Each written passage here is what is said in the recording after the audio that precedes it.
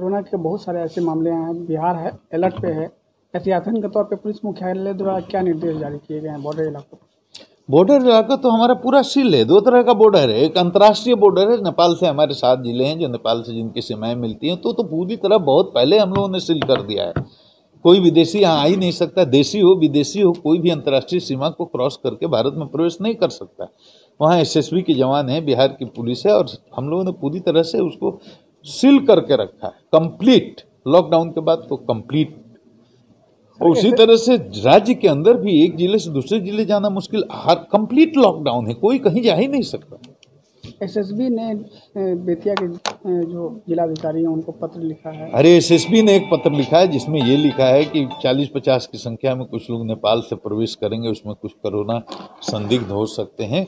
लेकिन अभी तक ये चार पाँच दिन पुराना पत्र है और किस आधार पर लिखा गया वो तो एसएसपी वाले बताएँगे।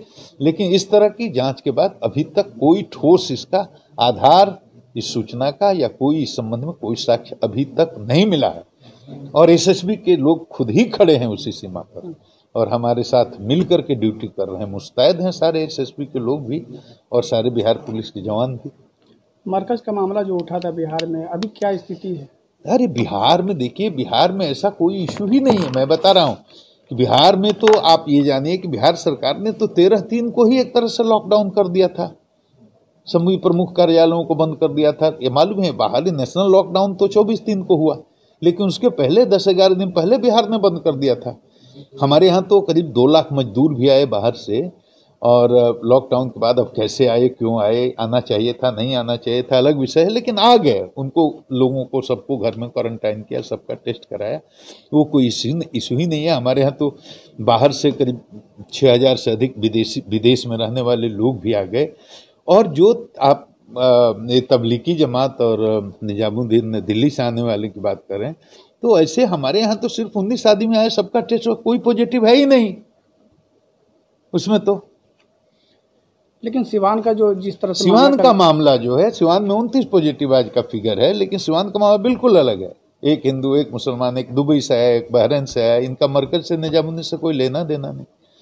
अब एक जो बहरीन से आया उसने घर में ही तेरह चौदह आदमी को पॉजिटिव कर दिया। एक आया बिरन कोई आदमी उधर से आपको दुबई से वो हिंदू था वो पॉजिटिव हो गया। एक चालीस इकतालीस आदमी के संपर्क में आया। उसने किसको किसको दिया? सैंपल कराया गया इकतालीस आदमी के संपर्क में आया था।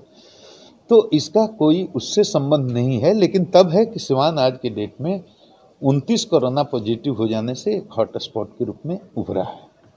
तो वो वैसे इलाकों को अब पुलिस किसने पूरी तरह से नवादा में एक केस हुआ है एक चार बेगूसराय में पॉजिटिव मिले हैं। और सिवान में तो सिवान में, नवादा में, बेगूसराय में, जहाँ जहाँ कोरोना पॉजिटिव मिले हैं अभी, वहाँ पूरी तरह से हम लोगों ने उस गाँव को, टोले को, मोहल्ले को कंप्लीट लॉकडाउन कर्फ्यू वाली स्थिति है। कोई घर से बाहर निकल भी नहीं सकता। आपको चावल चाहिए, आटा चाहिए, नमक चाहिए, सत्तू चाहिए, दवा चाहिए, वो पुलिस प्रशासन ने व्यवस्था कर, बना करके रखी है। आप अपना सूचना दीजिए, आप subscribe now and press the bell icon. Never miss an update.